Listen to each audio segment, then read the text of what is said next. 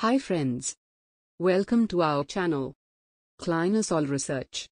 Today we are going to remember National Cancer Awareness Day.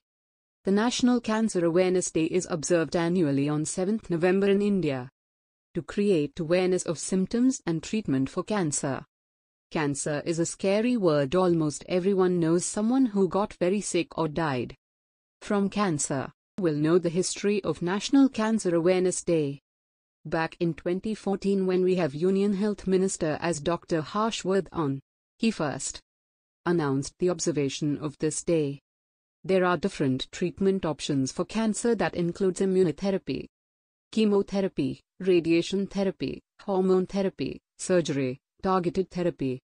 Bone marrow transplantation is essential that the knowledge about the symptoms, diagnosis and treatment of the fatal disease should be spread.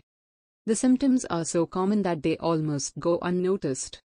It is critical that people undergo appropriate cancer screening on time. Common symptoms of cancer.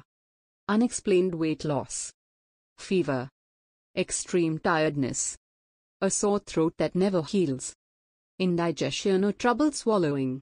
That can prevent us from cancer. Healthy diet, healthy weight, physically active, sun protection, get vaccinated.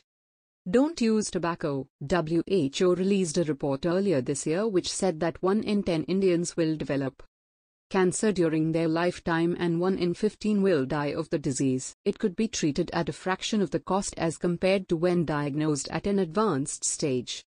Therefore, as responsible citizens, we should take care of ourselves. Cancer Awareness Day. Let us remember every cancer patient who has lost the battle of cancer and the ones who continue to conquer it.